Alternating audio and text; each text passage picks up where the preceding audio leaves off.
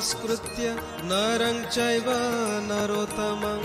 देवीं सरस्वतीं व्यासं ततो जयमुदिरये मुखं करोति वाचालं पङ्गुलङ्घयते गिरिं।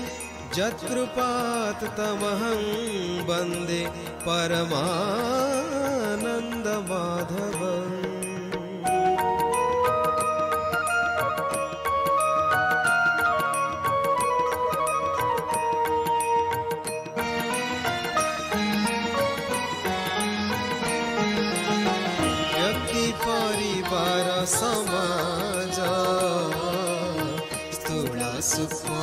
রাজ কার্য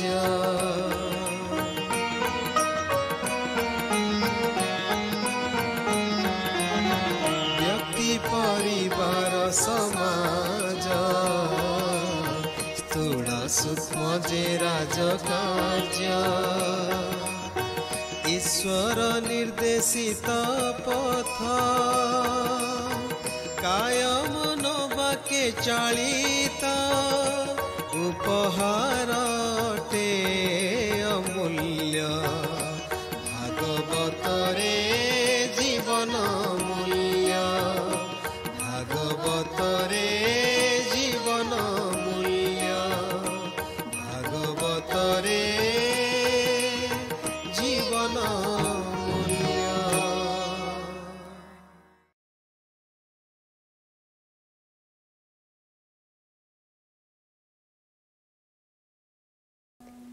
ପ୍ରିୟ ଭାଗବତ ପ୍ରେମୀ ଭାଇ ଏବଂ ଭଉଣୀମାନେ ଆମେ ଗତ ଅଧ୍ୟାୟରେ ଶ୍ରୀକୃଷ୍ଣ ସୁଦାମାଙ୍କର ମିତ୍ରତା ଏବଂ ସୁଦାମାଙ୍କର ଭାବଭରା ଦୁଇ ମୁଠା ଖୁଦ ପ୍ରତିବଦଳରେ ତାକୁ ଆଜି ସର୍ବସମ୍ପଦ ପ୍ରଦାନ କରିଥିବା ବିଷୟ ଆଲୋଚନା କରିଥିଲେ। ଭାଗବତ ମହାପୁରାଣ ଜୀବନ ମୂଲ୍ୟ ଦର୍ଶାଇବା ସହ ଅନେକ ଭଗବତ ତତ୍ଵର ଗୂଢ଼ ରହସ୍ୟକୁ ଉନ୍ମୋଚନ କରିଥାଏ। ସୁକ ପରୀକ୍ଷିତ ସମ୍ବାଦରେ ପରୀକ୍ଷିତ ରାଜା ସୁକ ମୁନିଙ୍କୁ ଗୋଟିଏ ପ୍ରଶ୍ନ ପଚାରୁଛନ୍ତି ହେ ମୁନିଶ୍ରେଷ୍ଠ! ଗୋଟିଏ ପ୍ରଶ୍ନ ମୋ ମଧ୍ୟରେ ଉଙ୍କି ମାରୁଛି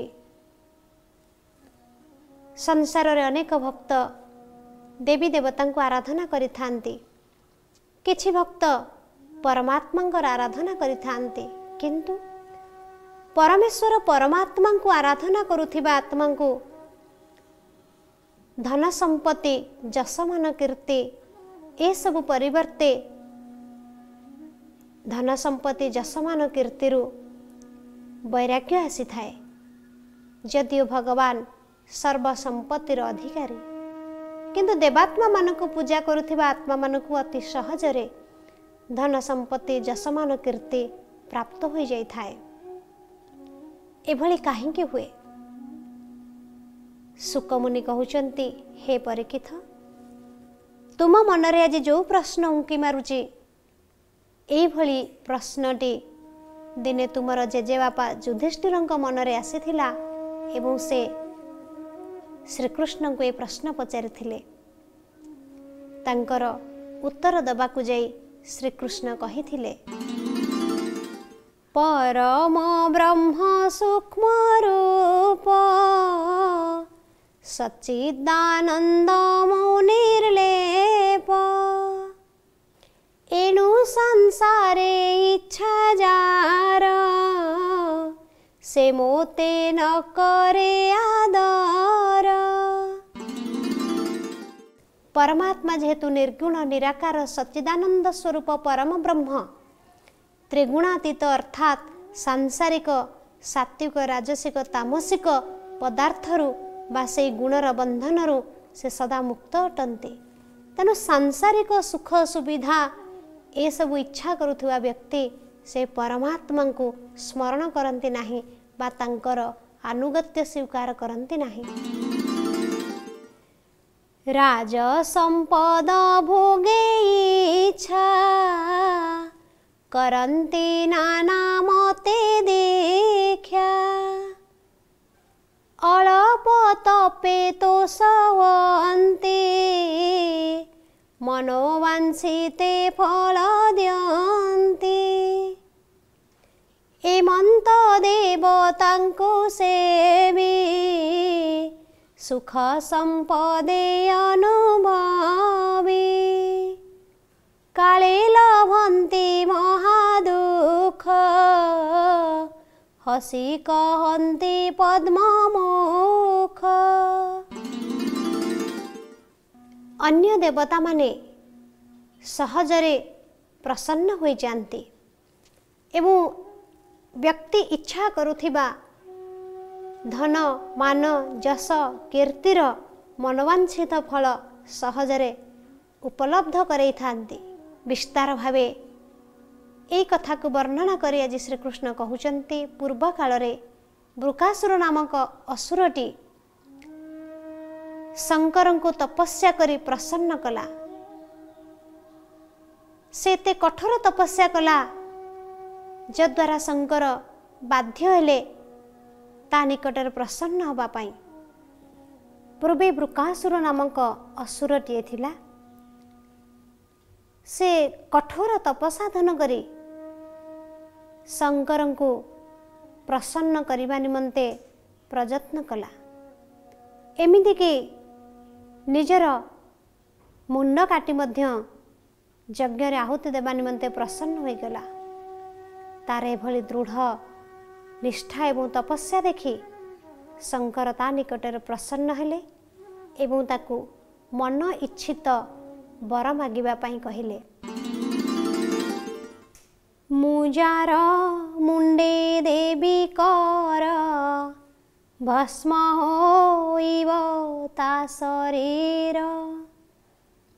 ଏ ମନ୍ତ ଅସୁର ବଚନେ ଦୁଃଖ ବିଚାରି ରୁଦ୍ରମନେ ହେଉ ବୋଇଲେ ତ୍ରିଲୋଚନ ସର୍ପକୁ ଯେହ୍ନେ କ୍ଷୀରପାନ ବିଷବର୍ଦ୍ଧନ ମାତ୍ର ଲାଭ ଦାତାର କାହିଁ ସୁଖ ଭାବ ଦୈତ୍ୟ କହିଲା ଆପଣ ମୋତେ ଏହି ବର ଦିଅନ୍ତୁ ମୁଁ ଯା ମୁଣ୍ଡରେ ହାତ ରଖିବି ସେ ଭସ୍ମ ହୋଇଯିବ। ଏହା ଏକ ଆଶ୍ଚର୍ଯ୍ୟ ଏବଂ ଅଦ୍ଭୁତ ଧରଣର ବର ବୋଲି ଜାଣି ମଧ୍ୟ ଶଙ୍କର ତାଙ୍କୁ ହେଉ ବୋଲି କହିଲେ। ଶଙ୍କରଙ୍କ ନିକଟରେ ମା ପାର୍ବତୀ ଠିଆ ହୋଇଥିଲେ। ବର୍ତ୍ତମାନ ଅସୁର ମା ପାର୍ବତୀଙ୍କୁ ଦେଖି ମନେ ମନେ ବିଚାର କଲା ଇଏ ତ ଶ୍ମଶାନରେ ରହୁଛନ୍ତି ତାଙ୍କ ପାଖେ ଏତେ ସୁନ୍ଦର ନାରୀ ରହିବା ଠିକ୍ ନୁହଁ। ବରଂ ଏ ନାରୀଙ୍କୁ ମୁଁ ଆଣି ମୋ ଭଳି ଯୋଦ୍ଧା ପାଖରେ ରଖିବା ଉଚିତ ହେବ। ତେଣୁ ମୁଁ ଶଙ୍କରଙ୍କ ମସ୍ତକରେ ହସ୍ତ ରଖି ତାଙ୍କୁ ଭସ୍ମ କରିଦେବି ଏବଂ ଏ କନ୍ୟାଙ୍କୁ ମୋ ପାଖକୁ ନେଇ ଆସିବି। ଈଶ୍ୱର ମୁଣ୍ଡେ ହସ୍ତ ଦେଇ ଏ କନ୍ୟା ଘେନି ଯିବି ଏଇ କଥା ଚିନ୍ତା କରି ଅସୁର ଯେତେବେଳେ ଶଙ୍କରଙ୍କ ମସ୍ତକକୁ ଛୁଇଁବା ପାଇଁ ହାତ ବଢ଼େଇଛି ଶଙ୍କର ନିଜେ ଦେଇଥିବା ବରରେ ଭୟଭୀତ ହୋଇ ବର୍ତ୍ତମାନ ଦୌଡ଼ିବାକୁ ଲାଗିଲେ। ଅସୁର ମଧ୍ୟ ତାଙ୍କ ପଛେ ପଛେ ଦୌଡ଼ିଲା। ଏଇଭଳି ଭାବେ ଶଙ୍କର ତ୍ରିଭୁବନ ବୁଲି ଆସିଲେ ଏବଂ ଅସୁର ମଧ୍ୟ ତାଙ୍କ ପଛେ ପଛେ ତ୍ରିଭୁବନ ପରିକ୍ରମା କରିବାକୁ ଲାଗିଲା। ଶେଷରେ କୌଣସି ଉପାୟ ନ ପାଇ ଶଙ୍କର ଈଶ୍ୱରଙ୍କର ଆଶ୍ରୟ ନେଇଛନ୍ତି। ପରମ ବ୍ରହ୍ମ ଜ୍ୟୋତି ରୂପେ ଯାହାର ତେଜ ବିଶ୍ୱେ ବ୍ୟାପେ ହରବି କଳ କର୍ଣ୍ଣେ ଶୁଣି ତତ୍କ୍ଷଣେ ପ୍ରଭୁ ଚକ୍ରପାଣି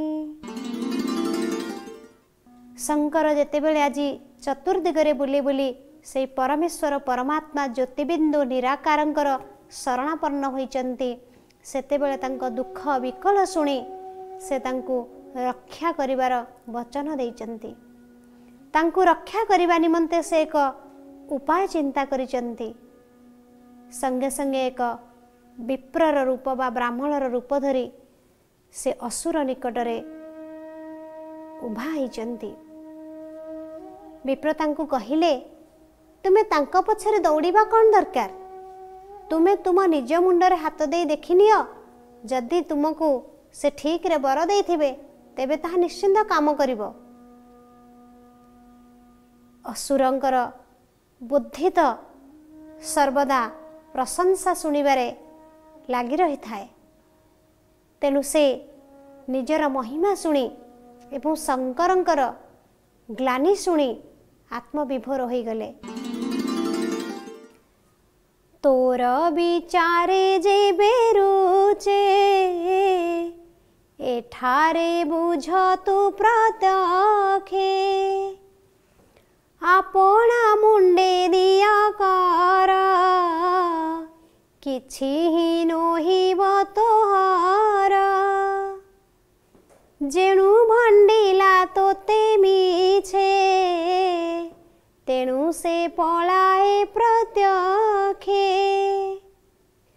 ବିଷ୍ଣୁ ମାୟାରେ ମୋହ ଗଲା ଆପଣା ମୁଣ୍ଡେ ହସ୍ତ ଦେଲା ତକ୍ଷଣେ ହୋଇ ଭସ୍ମ ରାଶି ପବନେ ଚଉଦିଗେ ମିଶି ଦେବ ହେଳନ ଯେ କରନ୍ତି ସକଳ ସଙ୍କଟେ ପଡ଼ନ୍ତି ଏଇଭଳି ଭାବରେ ଅସୁର ମନରେ ସଂଶୟ ସୃଷ୍ଟି କରେଇ ଦେଇ ତାରି ମୁଣ୍ଡରେ ହାତ ରଖି ପରୀକ୍ଷା କରିବା ନିମନ୍ତେ ପ୍ରେରଣା ଦେଲେ ଭଗବାନ। ତାଙ୍କ କଥାରେ ମୋହିତ ହୋଇ ଅସୁର ନିଜ ମୁଣ୍ଡରେ ହସ୍ତ ରଖି ସଙ୍ଗେ ସଙ୍ଗେ ଭସ୍ମ ହୋଇଗଲା।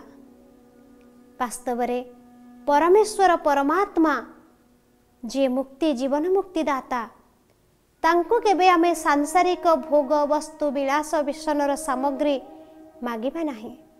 ସାଂସାରିକ ଭୋଗ ବିଳାସର ଇଚ୍ଛା ରଖିଲେ ଆତ୍ମା ଦିନକୁ ଦିନ ମୋହଗ୍ରସ୍ତ ବନ୍ଧନରେ ଯୁକ୍ତ ହୋଇଯାଏ ଯାଦ୍ୱାରା ଆତ୍ମକଲ୍ୟାଣ ପରିବର୍ତ୍ତେ ଆତ୍ମାର ଅକଲ୍ୟାଣ ହୁଏ।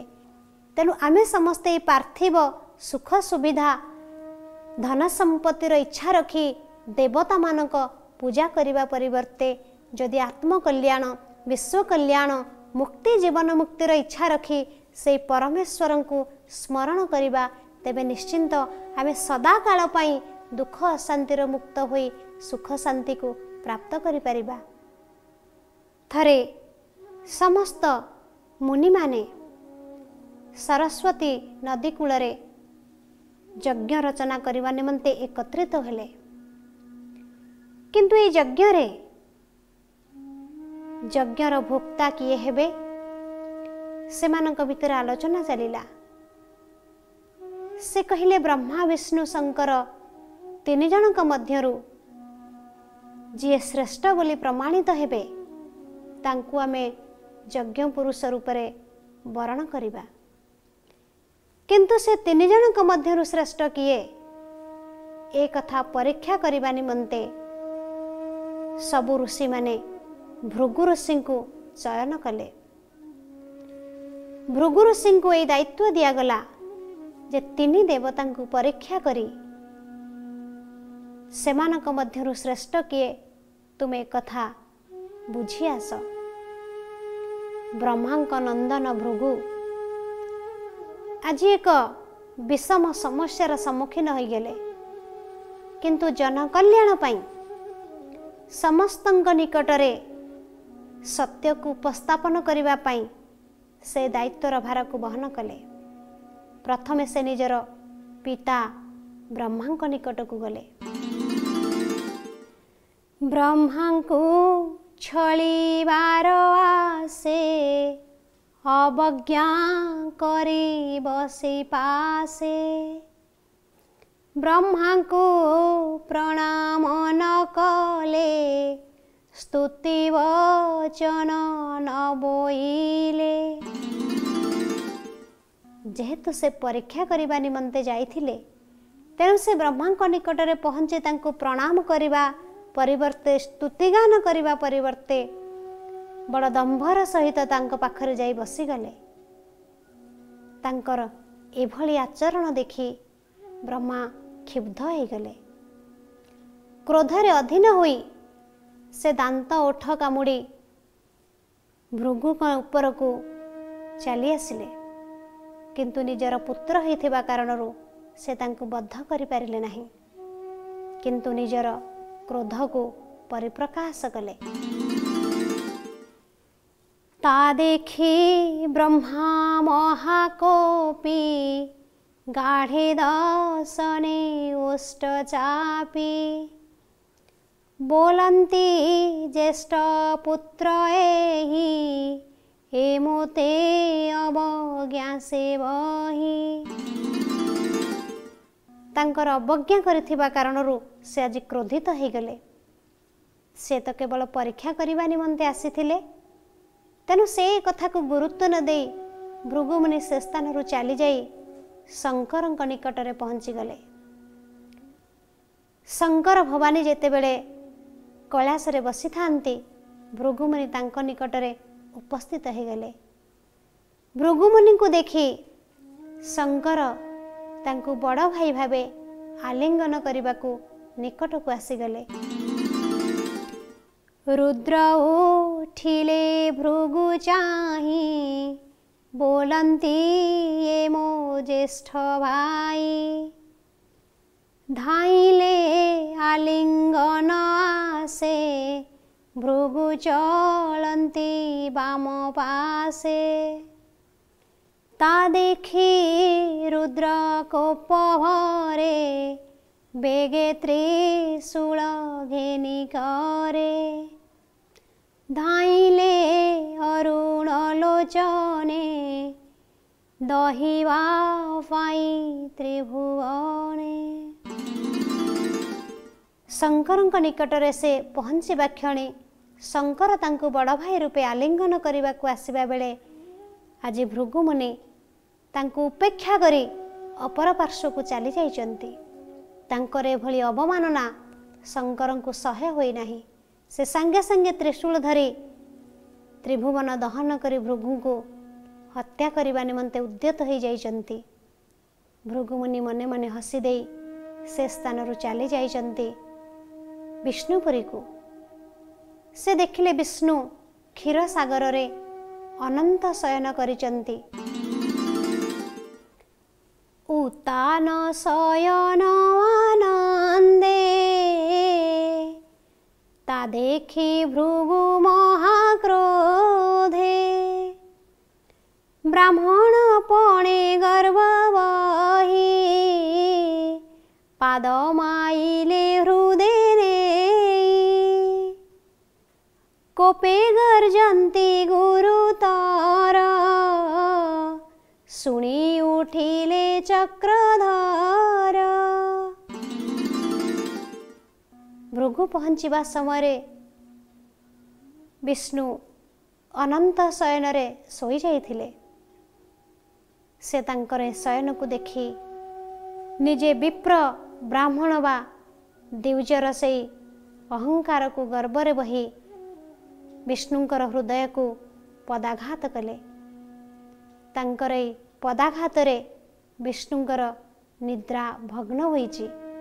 ସେ ସମ୍ମୁଖରେ ଭୃଗୁମୁନିଙ୍କୁ ଦେଖି ତାଙ୍କୁ ପ୍ରଣାମ କରିଛନ୍ତି।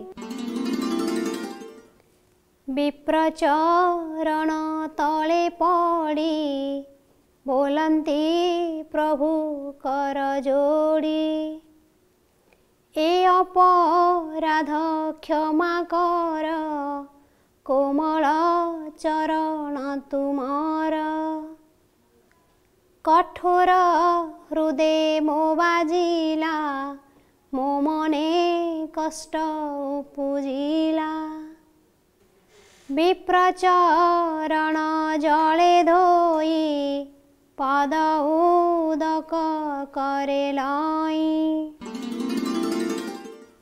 ବିଷ୍ଣୁ ଅନନ୍ତ ଶୟନରୁ ଉଠି ଆଜି ବିପ୍ରଙ୍କର ଭୃଗୁ ମୁନିଙ୍କର ଚରଣ ତଳେ ପଡ଼ି ତାଙ୍କର ପାଦକୁ ଆଉଁସି ଦେଇଛନ୍ତି। କହିଛନ୍ତି ହେ ମୁନିଶ୍ରେଷ୍ଠ ମୋର ଅପରାଧକୁ କ୍ଷମା କରନ୍ତୁ। ତୁମର ଏ କୋମଳ ପାଦ ମୋ କଠୋର ହୃଦୟରେ ଲାଗି ଆଘାତ ହୋଇଥିବ। ମୁଁ ଜାଣିପାରିଲି ନାହିଁ ଆପଣଙ୍କର ଆଗମନ ତେଣୁ ଆପଣ ମୋର ଦୋଷକୁ ମାର୍ଜନ କରନ୍ତୁ ଏହା କହି ଜଳ ଆଣି ତାଙ୍କର ପାଦକୁ ଧୋଇ ସେ ପାଦ ଉଦକକୁ ମୁଣ୍ଡରେ ମାରିଛନ୍ତି ତାଙ୍କର ଏଭଳି ନମ୍ରତା ପ୍ରେମ ଏବଂ ସତ୍କାର ଦେଖି ଭୃଗୁମୁନି ଅଭିଭୂତ ହୋଇଯାଇଛନ୍ତି ବିଷ୍ଣୁ ମହିମା ଗୁଣ ଦେଖି ଭୃଗୁ ବୁଝିଲେ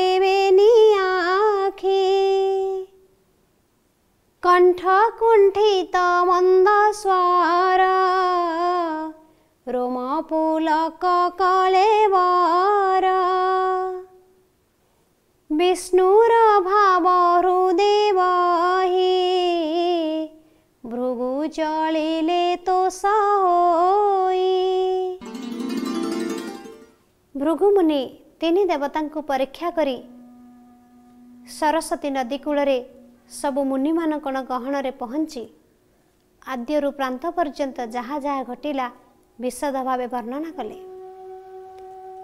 ସମସ୍ତେ ଏକଥା ଶୁଣିସାରିଲା ପରେ ବିଷ୍ଣୁଙ୍କର ସେଇ ମହାନ ଗୁଣକୁ ନତମସ୍ତକ ହେଲେ। ବିଷ୍ଣୁଙ୍କ ମଧ୍ୟରେ ଥିବା ଭକ୍ତବତ୍ସଳତା ପ୍ରେମ ଦୟା ଅନ୍ୟର ହୃଦୟର ବ୍ୟଥା ବୁଝିବାର ସହୃଦୟତା ଏବଂ ନମ୍ରତାର ଭାବନାକୁ ସମସ୍ତେ ଶ୍ରେଷ୍ଠ ବୋଲି ବିବେଚିତ କଲେ। ପ୍ରିୟ ଭାଗବତ ପ୍ରେମୀ ଭାଇ ଏବଂ ଭଉଣୀମାନେ ଜୀବନରେ ଯେକୌଣସି ପରିସ୍ଥିତି ପରୀକ୍ଷା ଆସିଲେ ମଧ୍ୟ ମନୁଷ୍ୟଙ୍କୁ କ୍ରୋଧିତ ହେବା ଉଚିତ ନୁହଁ। ହେଇପାରେ କେହି ଆମକୁ ପରୀକ୍ଷା ନେବା ନିମନ୍ତେ ଏ ପ୍ରକାର ପରିସ୍ଥିତି ସୃଷ୍ଟି କରିଥାଇପାରନ୍ତି ଯାହା ବ୍ରହ୍ମା ଏବଂ ଶଙ୍କରଙ୍କ ନିକଟରେ ଉପସ୍ଥିତ ହୋଇଥିଲା। ତେଣୁ ସେ ସମୟରେ ମଧ୍ୟ ଆମକୁ ଶାନ୍ତ ଭାବରେ ସେ ବ୍ୟକ୍ତିର ଅସଦ୍ ବ୍ୟବହାର ହେଉ ବା ପ୍ରତିକୂଳ ପରିସ୍ଥିତି ହେଉ ତାକୁ ସହି ନେବା ଉଚିତ। ଏଇଭଳି ଜୀବନର ଛୋଟ ଛୋଟ ପରୀକ୍ଷାରେ ଉତ୍ତୀର୍ଣ୍ଣ ହୋଇ ଆମେ ଦିନେ ସର୍ବଶ୍ରେଷ୍ଠ ପରୀକ୍ଷାରେ ଉତ୍ତୀର୍ଣ୍ଣ ହୋଇପାରିବା। ବିଷ୍ଣୁ ମଧ୍ୟ ଆଜି ସେହି ପରୀକ୍ଷାର ସମ୍ମୁଖୀନ ହେଲେ ଯାହା ବ୍ରହ୍ମା ଏବଂ ଶଙ୍କର ହୋଇଥିଲେ। କିନ୍ତୁ ବ୍ରହ୍ମା ଶଙ୍କର ଉଭୟେ ଭୃଗୁଙ୍କର ଏଇଭଳି ବ୍ୟବହାରରେ କ୍ରୋଧିତ ହୋଇଗଲେ। ନିଜର ସ୍ୱସ୍ଥିତିରୁ ବିଚ୍ୟୁତ ହେଲେ। କିନ୍ତୁ ବିଷ୍ଣୁ ସେହି ପରିସ୍ଥିତିକୁ ଏକ ସକାରାତ୍ମକ ଦୃଷ୍ଟିକୋଣରେ ନେଇ ଏକ ନୂତନ ରୂପ ଦେଲେ। ନିଜେ ଗୋଇଠା ମାଡ଼ ଖାଇଲେ ସେ କଥା ତାଙ୍କର ଚିନ୍ତା ନାହିଁ। ତାଙ୍କୁ ଯିଏ ଗୋଇଠା ମାରିଲା ତା ପାଦକୁ କେତେ କଷ୍ଟ ହୋଇଥିବ ତାଙ୍କର ସେଇ ଚିନ୍ତା ରହିଲା। କହିବାର ତାତ୍ପର୍ଯ୍ୟ ଦୁଃଖୀର ଦୁଃଖ ବା ପର ହୃଦୟର ଦୁଃଖକୁ ବୁଝିବାର ହୃଦୟ ପ୍ରତ୍ୟେକଙ୍କ ଭିତରେ ରହିବା ଦରକାର। ଏବଂ ପ୍ରତ୍ୟେକ ପରିସ୍ଥିତିରେ ନମ୍ରତା ଏବଂ ଶାନ୍ତ ଭାବରେ ତାର ପ୍ରତିକାର କରିବାର ଆବଶ୍ୟକତା ଅଛି। ବାସ୍ତବରେ ସେ ହିଁ ମହାନ ହୋଇଥାଏ ଯେ ପ୍ରତ୍ୟେକ ପରିସ୍ଥିତିକୁ ସକାରାତ୍ମକ ଦୃଷ୍ଟିକୋଣରେ ଦେଖି ନମ୍ରତା ଦ୍ୱାରା ସେ ପରିସ୍ଥିତିକୁ ପରିବର୍ତ୍ତନ କରିଦେଇଥାଏ।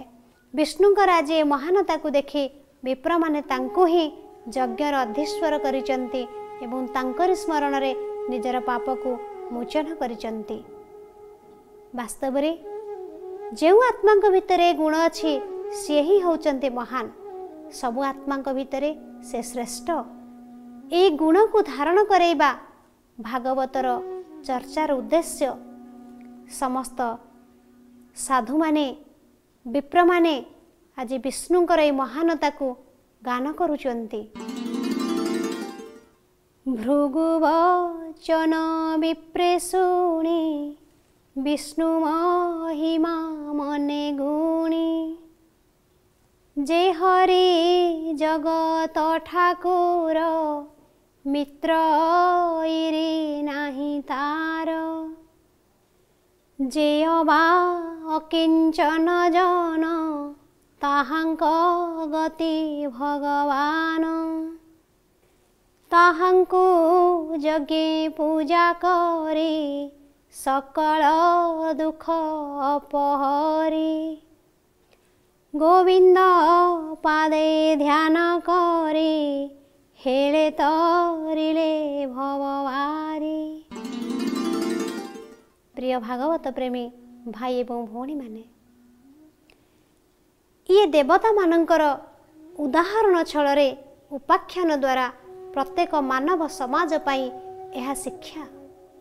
ଭାଗବତର ଦଶମ ସ୍କନ୍ଧରେ ଶ୍ରୀକୃଷ୍ଣଙ୍କର ଜୀବନ ଚରିତକୁ ନେଇ ବିଭିନ୍ନ ଆଦର୍ଶ ପ୍ରତୀକାତ୍ମକ ଉପାଖ୍ୟାନ ଦ୍ୱାରା ମାନବକୁ ଏକ ଦିବ୍ୟ ଜୀବନ ବା ଏକ ଗୃହସ୍ଥ ଜୀବନରେ ରହି ମଧ୍ୟ ଜଣେ ସମ୍ପୂର୍ଣ୍ଣ ଅନାସକ୍ତ ଭାବେ କିଭଳି ଈଶ୍ୱରଙ୍କର ପ୍ରିୟ ପାତ୍ର ହୋଇପାରିବ ବିଭିନ୍ନ ପ୍ରକାରର ଶିକ୍ଷା ଦିଆଯାଇଛି।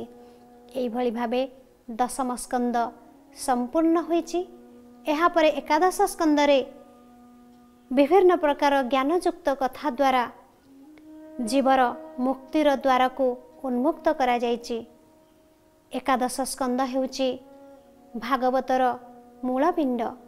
ପ୍ରିୟ ଭାଗବତ ପ୍ରେମୀ ଭାଇ ଏବଂ ଭଉଣୀମାନେ ପ୍ରଥମ ସ୍କନ୍ଦରୁ ଆରମ୍ଭ କରି ଦଶମ ସ୍କନ୍ଦ ପର୍ଯ୍ୟନ୍ତ ବିଭିନ୍ନ ଉପାଖ୍ୟାନ ବା ଦୃଷ୍ଟାନ୍ତ ଦ୍ୱାରା ଆମେ ଯେଉଁ ଜୀବନ ମୂଲ୍ୟକୁ ଶୁଣିଲେ ସେହି ଜୀବନ ମୂଲ୍ୟକୁ ଜୀବନରେ ଧାରଣ କଲେ ନିଶ୍ଚିନ୍ତ ରୂପେ ଆମ ଜୀବନ ଏକ ଆଦର୍ଶ ଜୀବନ ଏବଂ ସୁଖ ଶାନ୍ତିମୟ ଜୀବନ ହୋଇପାରିବ। ଓମ୍ ଶାନ୍ତି।